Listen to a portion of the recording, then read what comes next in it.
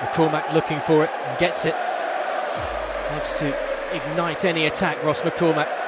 Trying poke one forward to Ayew. He's done well to keep hold of it. He fancies a go. Very good save early on by Danny Ward. Well, hit by McCormack, straight into the wall though. Struck it with vigour. Tshibola with the header. And that's his first goal for the new. Oh, it won't count.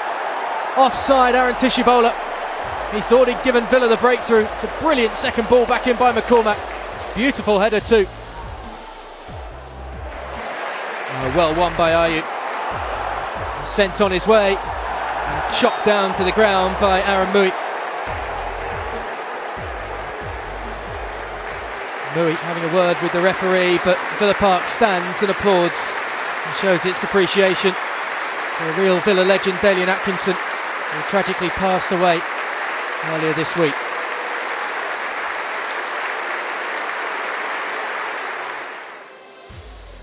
Grealish.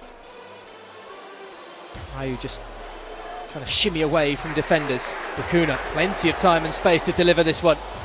It's a good ball into the back post. Grealish with the strike, scuffs it, and McCormack guides it in. Perhaps fortuitous, but ever clinical Ross McCormack opens his Aston Villa account.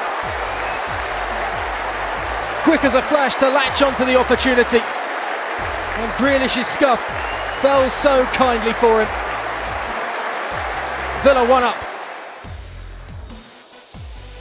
Needs to be on his toes, Gollini. Oh, he can only watch as it struck the frame of the goal and then the follow up is cleared away.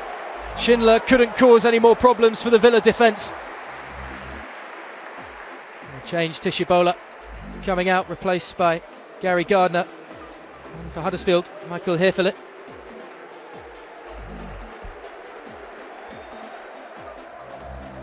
Villa wanting to keep the ball at this end of the pitch.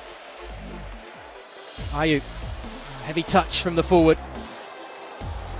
Visitors will try and clear it away. Mooy sends a long ball. It will be easily dealt with by the Villa defence. Gollini. Oh dear, oh dear. A disaster at the back. And Michael Hefele, who's been on the pitch for only a matter of seconds, I think under 30 seconds by my watch, has somehow pulled Huddersfield level late on. And Gollini with another mistake.